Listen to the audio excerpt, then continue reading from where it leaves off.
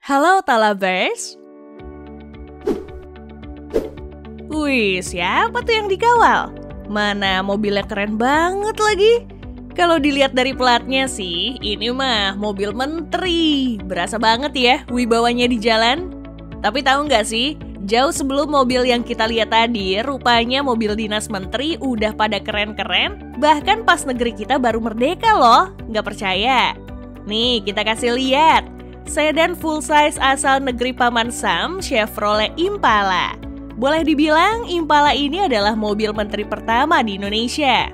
Tapi berbagai sumber mengatakan kalau mobil-mobil ini nggak langsung disediain pas Indonesia merdeka, melainkan baru ada di pertengahan era pemerintahan Presiden Soekarno. Nggak cuma digunakan oleh para menteri, salun dengan mesin 3800 cc 6 silinder di balik kap mesinnya ini juga dipakai oleh pejabat tinggi negara lainnya, baik dari kalangan sipil maupun militer. Salah satu yang kini masih terawat dapat kita lihat langsung di Museum Sasmita Loka yang dulunya adalah kediaman Jenderal Ahmad Yani. Sementara untuk harga mobil ini diperkirakan menyentuh angka 5 juta rupiah di tahun 1965 dulu. Ingat ya, ini harga tahun 65. Zaman di mana duit 100 perak aja udah bisa makan berkali-kali. Selain Chevrolet Impala pada era Presiden Soekarno selama 23 tahun berkuasa, Dodge Dart juga dipilih sebagai kendaraan dinas para menterinya. Ada yang unik nih soal Dart. Awalnya mobil tersebut diproduksi sebagai kendaraan murah. Barulah di tahun 1960, Dart dibuat lebih pendek dan akhirnya di tahun 1963 mulai dilirik oleh banyak orang lantaran ukurannya yang lebih kompak. Muscle car bermesin 2800 cc ini tetap terus dipakai sampai pada tahun 1971 Sekretariat Negara mulai beralih ke Chrysler Valiant Regal VH. Mobil yang dirancang langsung di Amerika Serikat ini tergolong sebagai salah satu mobil mewah pada zamannya. Wajar aja jika orang-orang pada masa itu menganggap Valiant Regal sebagai representasi dari status sosial yang dimiliki. Apalagi dari segi performa juga cukup bertenaga dengan mengusung mesin berkubikasi 3700 cc. Setelah masa bakti mobil tersebut selesai, tepatnya pada tahun 1978, para menteri yang berada di Kabinet Pembangunan era Soeharto masing-masing diberikan Volvo 264 GL berwarna hitam. Penetapan mobil tersebut bukanlah tanpa sebab, Hal itu dikarenakan Volvo sendiri memberikan unsur safety bagi para penumpangnya. Tak ayal jika mobil produksi Swedia itu menemani para pembantu kepala negara dalam kurun waktu yang cukup lama.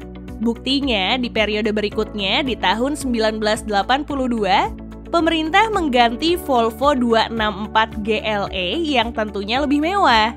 Seri 200 ini adalah salah satu dari sekian banyak mahakarya terbaik Volvo pada zamannya.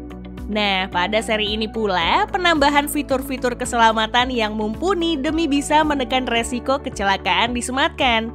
Mulai dari anti-lock braking system, crumple zone, dan udah ada airbagnya loh pada tahun 1987 bersamaan dengan berakhirnya produksi Volvo 200 series, pemerintah saat itu turut meremajakan kendaraan para menterinya dengan mendatangkan Volvo 740 GL. Kayaknya pemerintah kita udah terlanjur jatuh hati ya dengan hasil karya manufaktur asal Swedia itu. Soalnya lima tahun berselang bersamaan ditunjuknya Indonesia sebagai penyelenggaraan konferensi tingkat tinggi APEC pada tahun 1992, lagi-lagi pilihan kendaraan dinas para menteri dijatuhkan kepada Volvo 960. Bahkan di akhir masa Orde Baru tahun 1998, para menteri kabinet pembangunan jilid 6 masih memakai Volvo S90 untuk dinas.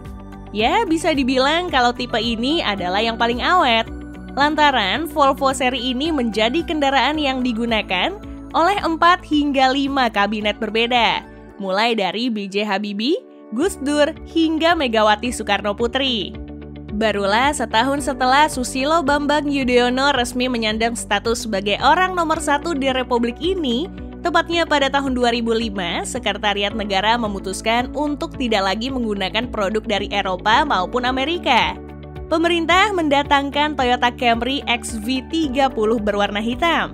Bisa jadi krisis moneter di tahun 1998 menjadi alasan utama. Peran Yusuf Kala sebagai wakil presiden saat itu dinilai punya andil besar dengan pemilihan Camry sebagai mobil menteri. Ekonom ulung asal wilayah timur Indonesia ini berhasil melobi pihak ATPM Toyota di Indonesia untuk menyediakan Camry untuk para menteri dengan harga yang lebih murah. Sebagai gantinya, image Camry bakal naik dan otomatis meningkatkan citra dan tentunya penjualan mobil ini. Apalagi JK dan Toyota memang dikenal punya hubungan spesial. Tapi yang lebih realistis sih, pemerintah saat itu lebih memikirkan reliabilitas untuk sebuah mobil dinas. Makanya Toyota Camry yang menggendong mesin 3000 cc serta mampu memuntahkan tenaga maksimal hingga 210 horsepower dan torsi sebesar 283 Nm itu dipilih. Selain performa mesin yang mendukung, tentunya profil image mobil mewah sudah tersemat pada mobil yang pertama kali diperkenalkan pada tahun 2002 ini. Ditambah lagi, dari segi ukuran kabin pun cukup lapang dan sangat cocok digunakan oleh mereka yang membutuhkan ruang yang luas.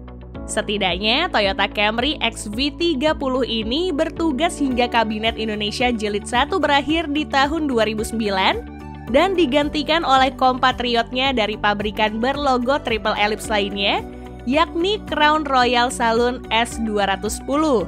Sedan berbadan bongsor ini dibekali mesin V6 berkapasitas 3000 cc plus sanggup memuntahkan tenaga hingga 338 horsepower yang sama sekali nggak menjadi sebuah masalah dalam menggendong kendaraan berbobot 2 ton ini.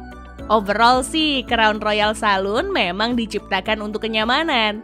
So, jangan heran jika satu unit mobil ini paling tidak membutuhkan biaya sebesar 1,3 miliar rupiah saat itu.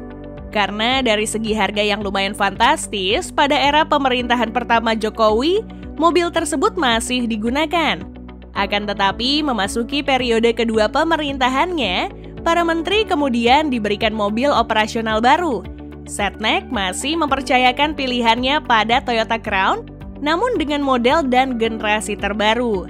Beberapa penyempurnaan pun hadir pada seri S220 ini, seperti teknologi hybrid yang membuat mesin semakin hemat bahan bakar dan tentunya makin bertenaga.